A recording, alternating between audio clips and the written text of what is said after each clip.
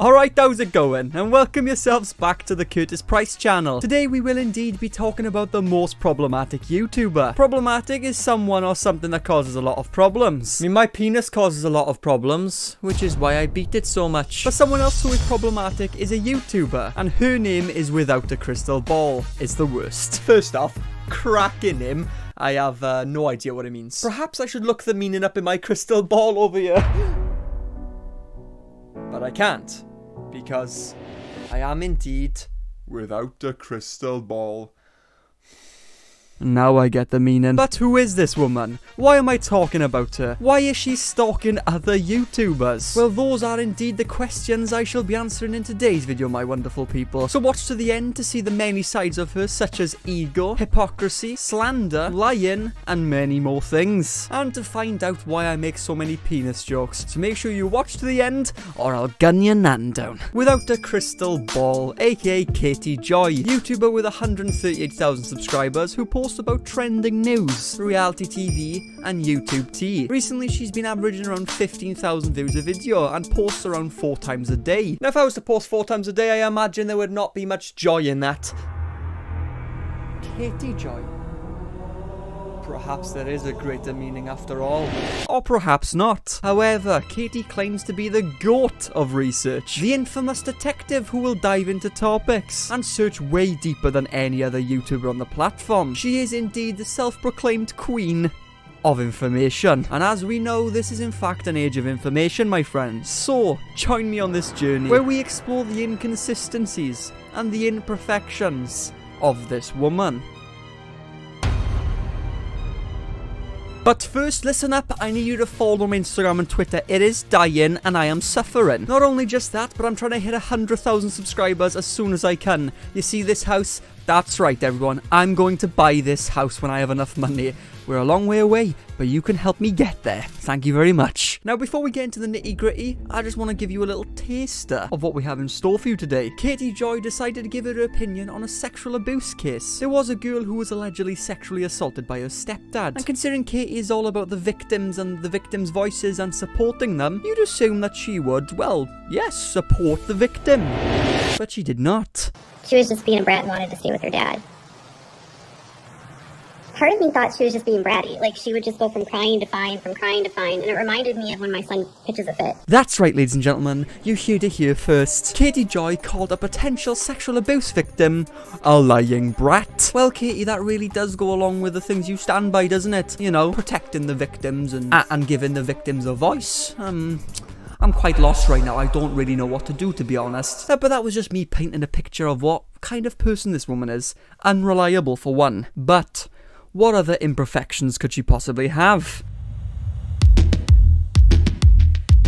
So, ladies and gentlemen, we all remember the drama that broke out between Shane Dawson and the internet. Shane was being called out for his past involving inappropriate comments to minors and many other things. And according to two YouTubers, Sanders Kennedy and Without a Crystal Ball, Shane Dawson was being investigated by the LAPD. Or was he? You see, my friends Katie and Sanders Kennedy took it upon themselves to lie about Shane Dawson in return for publicity. Katie and Sanders both put out videos claiming that Shane Dawson is a culprit, a convict, which Shane Dawson broke his silence on Twitter by claiming these allegations are false. And yes, they were indeed. However, ladies and gentlemen, to make these seem even more legit, Katie released the name of the sergeant leading the investigation in the description of her video. Sanders, Saunders, however you want to say his name. However, I do want to point out that he never released a name. He never gave us the name of the sergeant that was leading the investigation. Katie did this all by herself, which in her eyes made her video seem more credible. This doesn't even go anywhere when you call it. You can't talk to a Sergeant Payne without knowing the precinct they work with. Exactly, my friend just tried it, and they think they are prank calling. Twitter.com without a crystal ball. This number when you call it, it goes nowhere. My friend called it.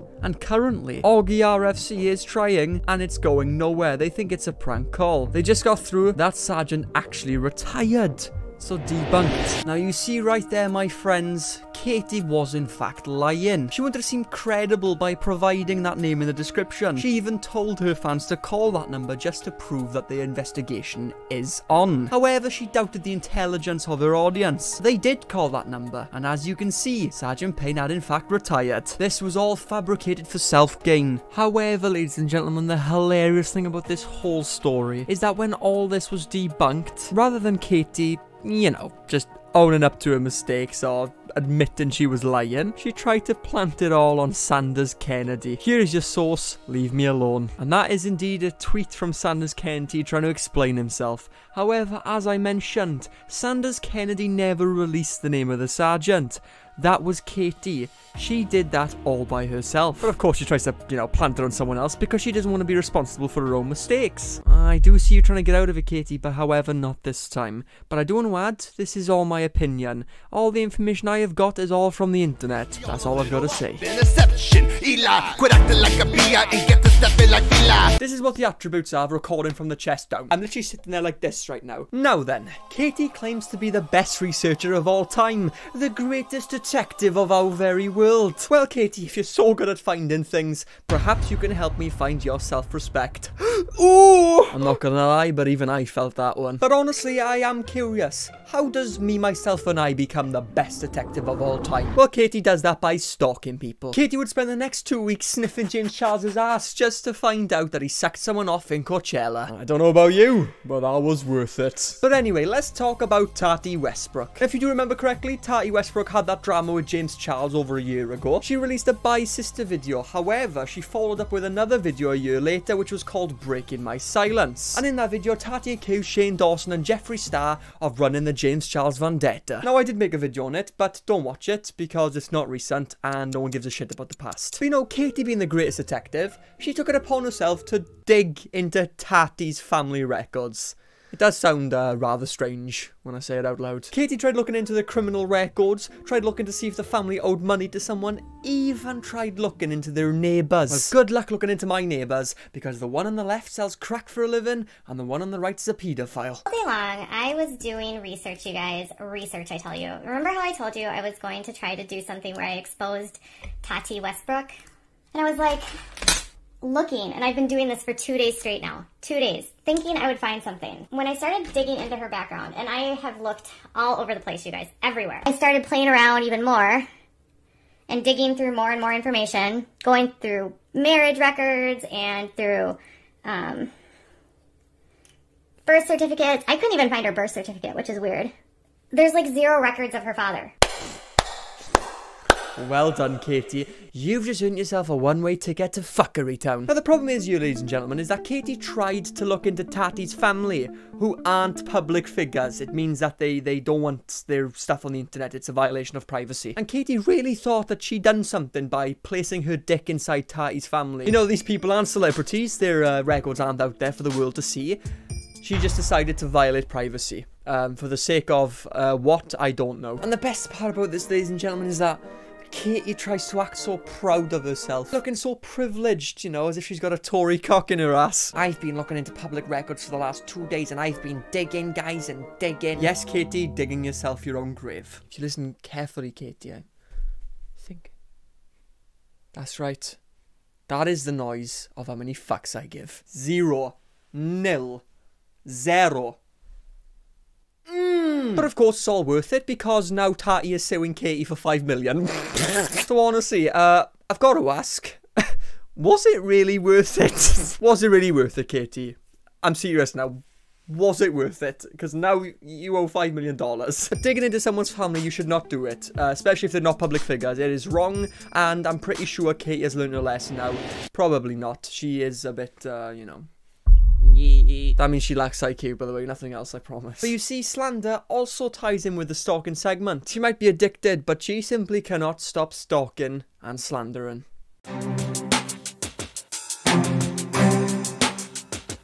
I'm talking whap, whap, whap. That's some wet ass pussy. Now then, ladies and gentlemen, let's talk about religious websites, God, the rest of it. Katie Joy. Katie used to be an admin, I guess you could say, for a religious website where you would talk about religion and uh, post very positive things on there. But Katie Joy took it into her own hands. Again, which probably not a good idea after what happened the last time. Rather than writing religious positive things on that website, she slandered Tati and her husband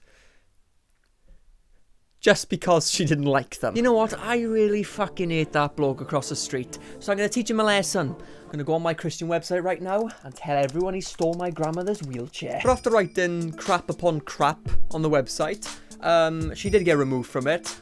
And she continued to dig into Tati's family, but this time into Tati husband's family. That's right, everyone. Katie started digging into Tati's husband's criminal records I am fucking clueless right now. And you won't bloody believe the things Katie found. Upon information and belief, the article states that James has a lengthy criminal rap sheet, and then proceeds to discuss an arrest in 1989 and another in 1990 related to drug use when James was still in his teens. he didn't do drugs, did he? No, you're lying. Oh my god! Tati's husband did drugs when he was a teenager. Oh my god, that's fucking hard evidence. The only charge he has as an arrest on his criminal record is that he used drugs when he was a teenager. That's the evidence that Katie was digging for, everyone. That really was worth the five million, wasn't it? But Katie tries to make it sound like as if uh, James is some sort of crime boss, a drug lord. He fucking used drugs when he was a teenager. It's not that bad if you think about it compared to what he could have done. I mean, it could have been worse. James could have walked into Walmart and shot six old ladies. But that didn't happen, thankfully. I don't know what the obsession is with old ladies today. I'm just kind of running with the joke. It's probably all the granny porn I've been watching. But Katie really does try and run a narrative that fits her best. You know, that she really has found something, that she's doing something for the community. Uh, you're a YouTuber, Katie. You're not a detective. That's the truth. Oh, and also, everyone, uh, apparently James frauded his family of millions and millions of dollars. Katie claimed that James killed his own mother, and I don't mean literally killed her because then we're going back onto the topic about killing old ladies again. but literally made his mother sign the inheritance over to him while keeping all of his siblings out of it. And if this is true, then well done, Katie, you found something finally. But uh, it's not true. It's, it's not true at all. Judging by the statements that you can see on screen right now, uh, the disinheritance was years before his mother died. Uh, not recently. He didn't make her sign the, the inheritance while she was on her deathbed and kept the siblings out of it. That that didn't happen.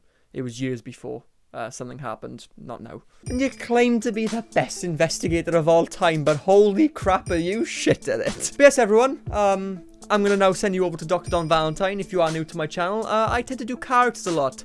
I dress up in fancy dress and dance around on camera for 20 minutes. And now, let's proceed with my good friend, Dr. Don Valentine.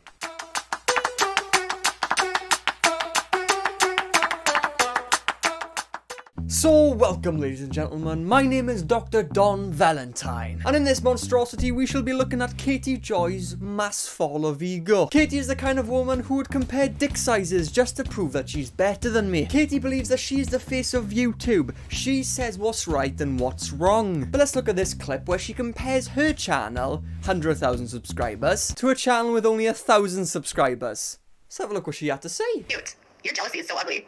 How is your 1,000 subscriber channel? Because I have 137,000. I'm 137 times, like 137,000 times bigger than you. I don't think it's a competition. So there you go. Yes, my friends, you saw it there correctly. Her channel is a hundred times bigger than that person's channel. You see, Katie, you can have a hundred thousand subscribers. It does not make you a nice person. You're still an asshole. And that's just my opinion. What are you gonna say about it? Huh? That's just my opinion. I can't do nothing. If I don't like you and I think you're a bad person and an asshole, I can tell you that. But Katie also uses her ego, you know, sitting there all smug, saying who can stay on the platform and who can't. I'm sorry to break it to you, Katie, but you have a hundred thousand subscribers. YouTube doesn't really care about you and what you have to say. Free the banana girl. Get Freelee the banana girl off of here now. Get Jennifer Daniels off now. Get um get Jim Humble's crap off here now. Get rid of Kerri Rivera. Get rid of these people. Disband Jillian Epperly's page. Get rid of all of them. Every single one of them. Get rid of the naturopaths. Disable Del Bigtree's Highwire. Del Bigtree's Highwire is the biggest crock of conspiracy crap on YouTube. Disable stop mandatory vaccination. Oh, I love it. The way she sits there all smug with royalty.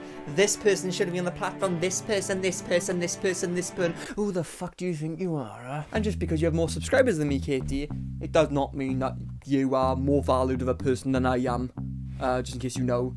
Um, you may have more subscribers, but doesn't make me any less of a man. Also, not just that, ladies and gentlemen, but I claim Katie Joy to be a bit of a bully. Mm-hmm, that's right, a bully. Just the way, mm, just the way she bullies everyone. You know, to stay out of this topic, because if you do get involved, you can expect your lawyers to be in contact. I'm just trying to be benefit. Like, if you are lurking in there, if you are in that group because you are trying to just spy, if you are in that group because you um, are involved in things that aren't good, I would, I would dip. I would literally dip. You don't want to get involved in what's about to happen. You really don't want to be involved. It's it's very serious. I mean, seriously, guys, you, you don't want to be involved with this. Just straight away, if you're thinking about getting involved, I'm just saying, if you don't want a lawsuit, I wouldn't get involved. That is bullying. You're bullying me not to speak my voice on the internet. It's freedom of speech. If I disagree with something you've done, I can talk about it. You know? Don't get lawsuit involved, my opinion. You get it? So if you don't want to be part of a court case, you might want to leave. And I'm honest to God saying this, like, don't be involved in this if you don't want to be involved in this.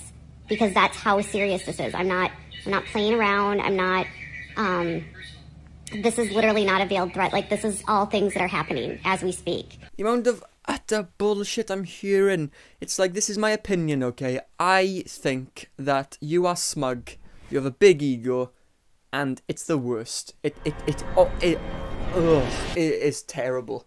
Every day I'm shitting and I'm pissing on this hypocrisy. It's that uncontrollable demon they didn't wanna see.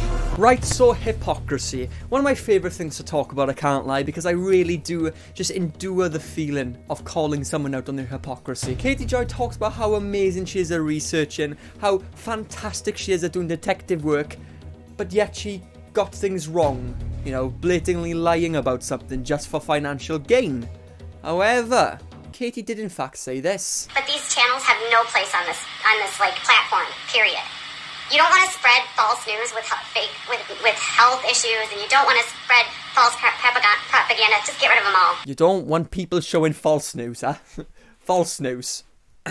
Shane Dawson's been investigated, by the way. Well, no, that is false news, isn't it, Katie? Uh, you are a hypocrite.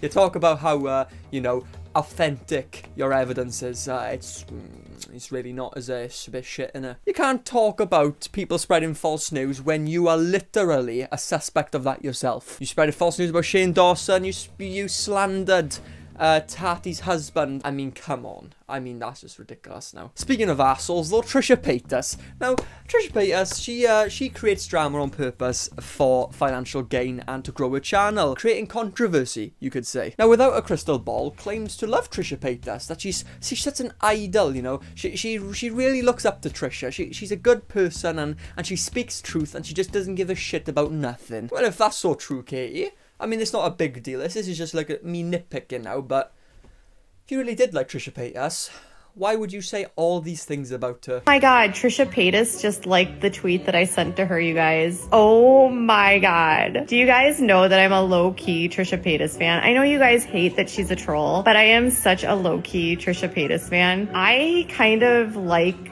someone that just doesn't give a flying F.